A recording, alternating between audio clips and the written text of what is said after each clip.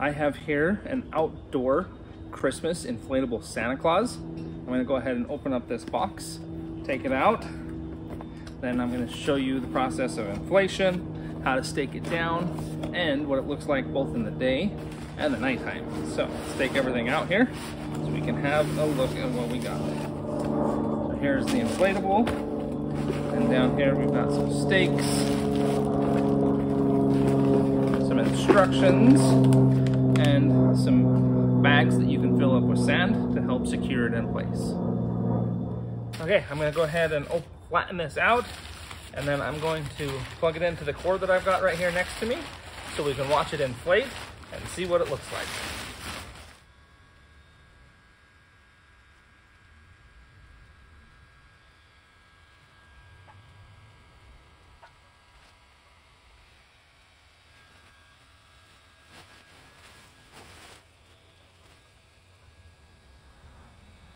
Okay, so it's now fully inflated.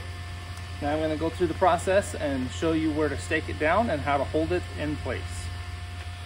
So you can see I got these bags filled up. They're just filled up with water right now. You can do water or sand. Just keep in mind that if you're doing water, make sure it's not during cold season, which is typically when Christmas is, at least in my area. So I'm not going to want to have water in these when it's Christmas time because it's going to be snowing and these will freeze. So I'll have to use sand. I'm just using water to show that they can be done with both. What you're going to want to do is take and unzip the bottom zipper, slip them inside, and then you can zip the zipper back up and that'll put some weight down in the bottom and help keep him standing while I stake him down.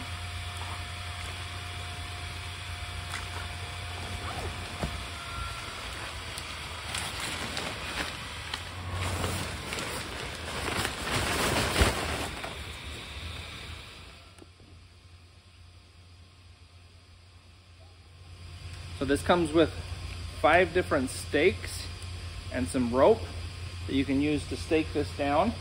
You're going to want to put one rope on each side as well as three stakes around the bottom to help secure this in place now that he's inflated and standing up. Okay, so right here you can see there's this little tab sticking off. That's what I'm going to use to stake this down. I'm just going to take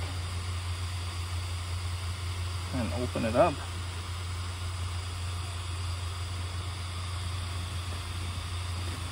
That.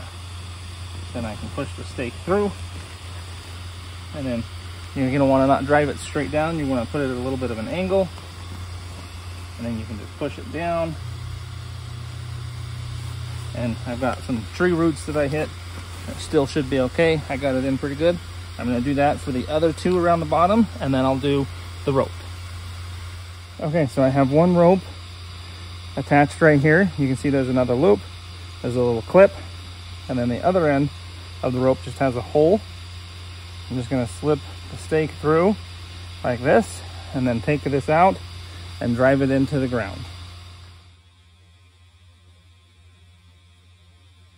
Okay, so I got him all staked down. I got three stakes on the bottom, two stakes off to the sides uh, attached up here, plus the weight down in the bottom. So now you can see he might move around a little bit in the wind, but he's not gonna fall over which is exactly what I want. So now I'm gonna come back when it gets dark and we can see what the lights look like on the inside.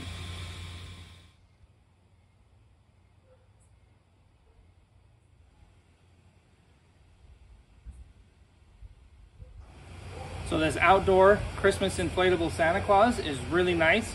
You can see it's super tall. It's eight feet tall. It's really fun at nighttime because it's got the lights that make it glow. It's also really easy to set up and inflate. So I'd recommend this to anybody that wants to add a little bit extra Christmas cheer in their yard at Christmas time.